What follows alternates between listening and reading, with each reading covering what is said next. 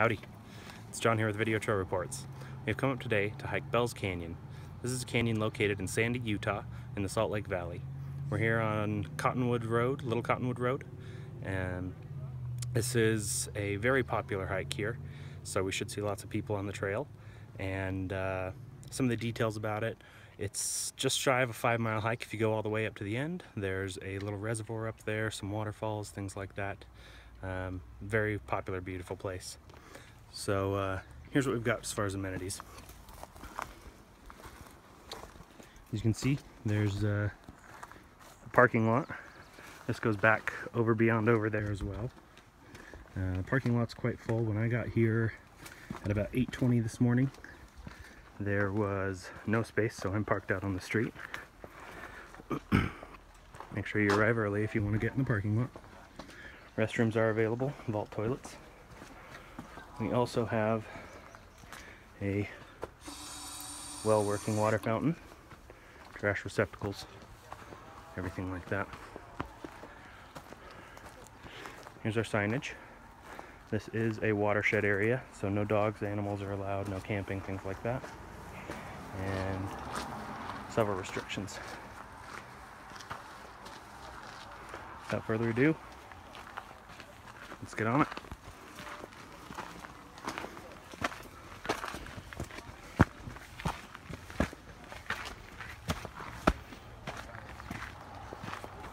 Bells Canyon Trail starts out fairly narrow, with dense vegetation on either side, full of wildflowers, trees, and all kinds of life.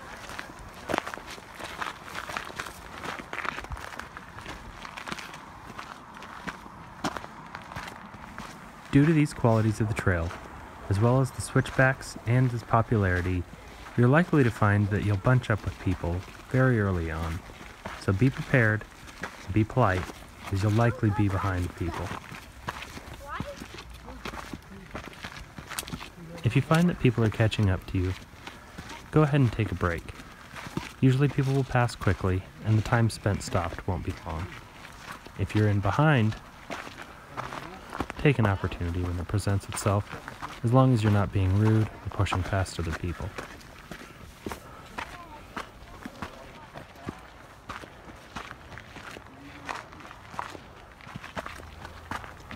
As the Boulder Trailhead climbs out of the Salt Lake Valley, the first quarter mile will feature several switchbacks. And more switchbacks.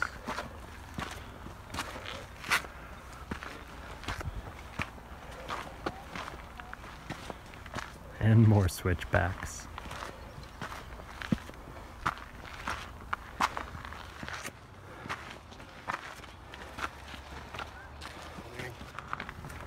Once you reach the top switchback, get a good view of the valley. The trail will flatten out a bit and meander over the top of a ridge.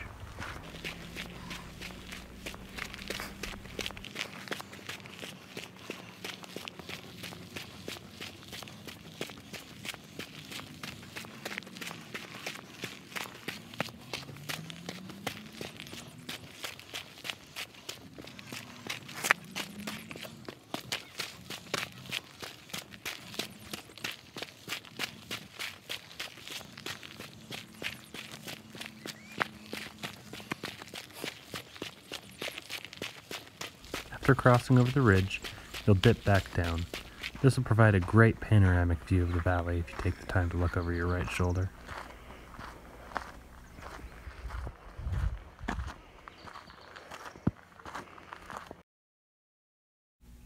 The trail will steadily continue onward and upward for a short while, until, at about three quarters of a mile into your hike, you'll crest over the top of a hill and come into view of the lower Bells Canyon Reservoir.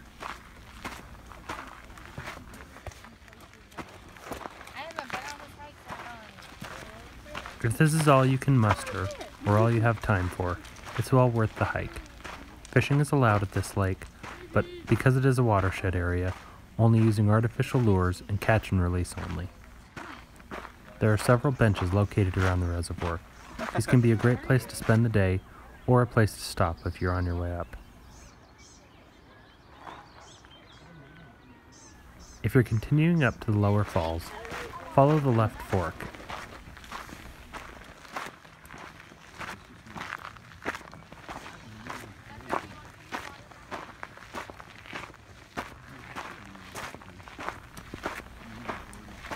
Many of these very wide trails are used for service roads for the reservoirs. Keep an eye out while going up, as there's small signs indicating where you'll need to turn left to go off to the lower falls.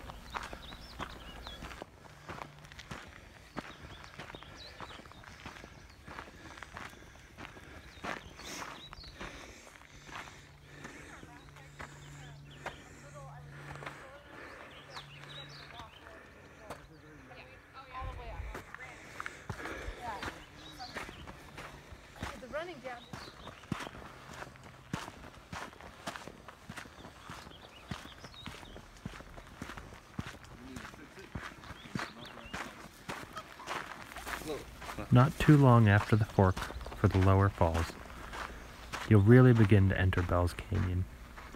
This area provides a beautiful 360 degree view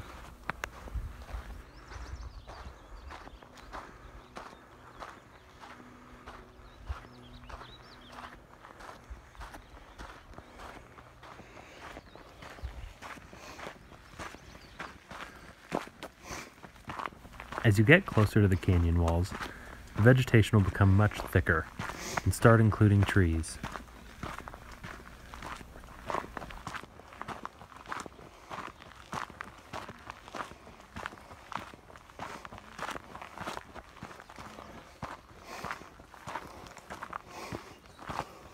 The trail will be fairly straight at this point, with a steady incline, as you're still approaching the canyon walls.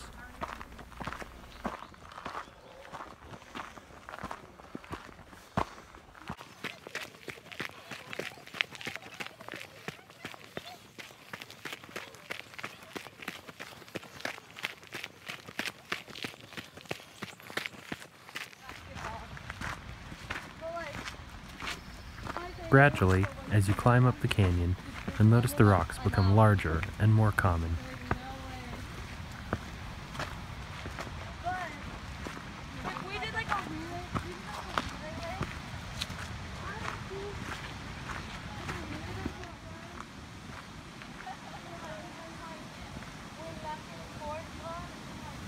At about a mile and a quarter in, the trail will come up alongside and cross over the stream.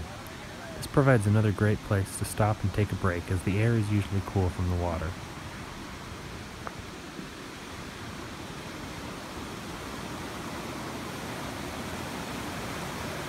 At this area you'll cross the stream and continue the hike from the south side of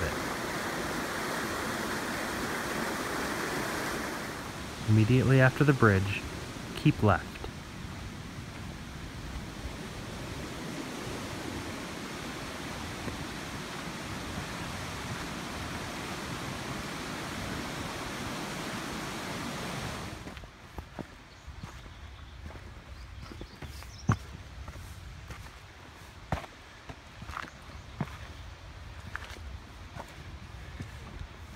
A while after the bridge, there's a false trail off to the left. Don't go this way, and if you're ever confused, ask the people that are on the trail with you like my uh, companions behind me did.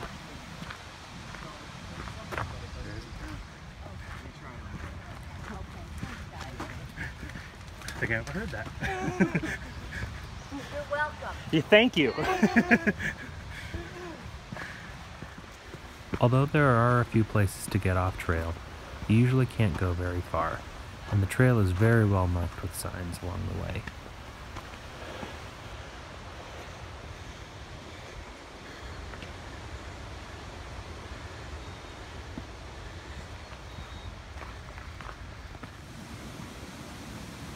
There are also several places further along where the trail comes right alongside the streams.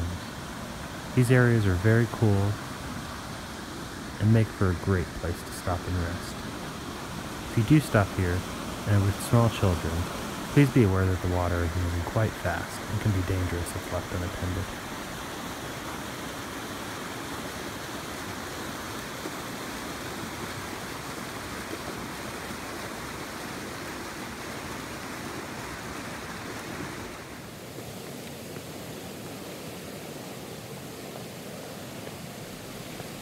You can go the extra distance before a break, I'd recommend going up to the spot just beyond this. It's not too far, and provides a very great place to stop and rest on a rock.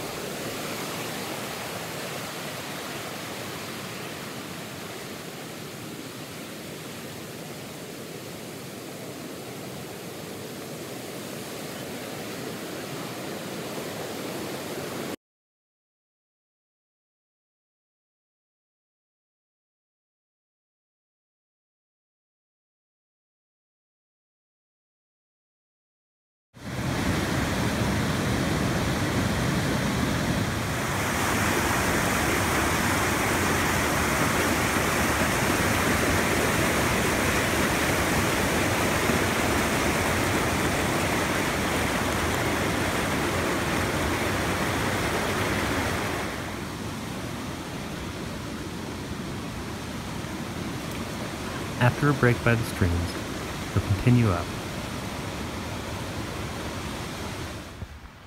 For a brief while, the trees will open, providing a 360 degree view of the canyon that you've now entered.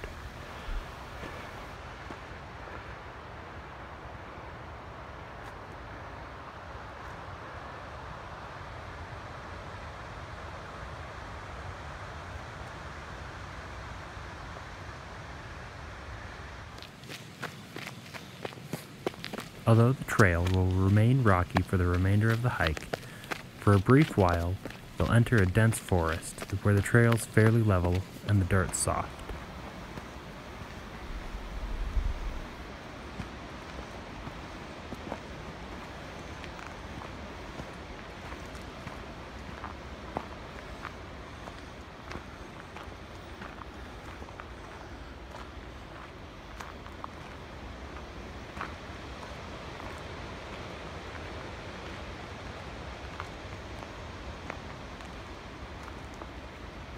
After this, the trail will become much more rocky and much steeper.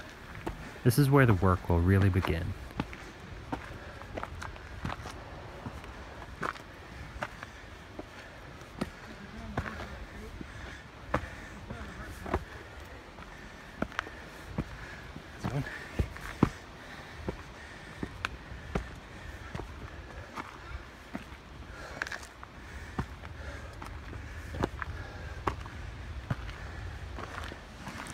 Don't be surprised if you or your fellow hikers need a break at this spot. It's very steep and very rocky. This will also lead to lines that form in this area. Particularly when I was coming down, I was very frequently stopped so that people could continue past me. Hi.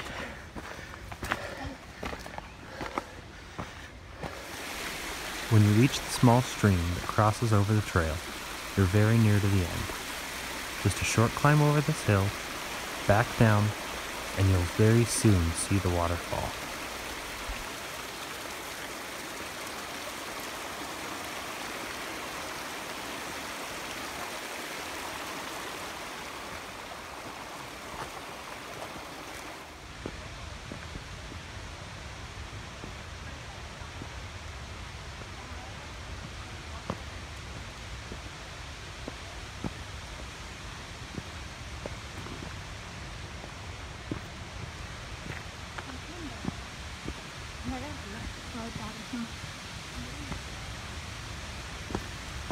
Pay attention through this area, as there's a small trail that goes off to the left that I would suggest you follow.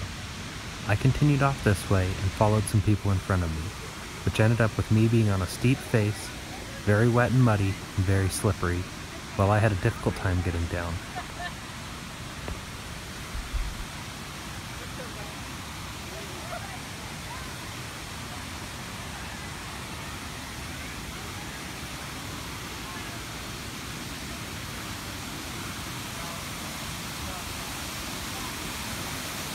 There are many excellent places to view the falls and the canyons around you. Take your time and find a secluded spot and enjoy the scenery. Be cautious by the water's edge. The water here is very fast and the bed very rocky. If you were to go in, it would likely not end well.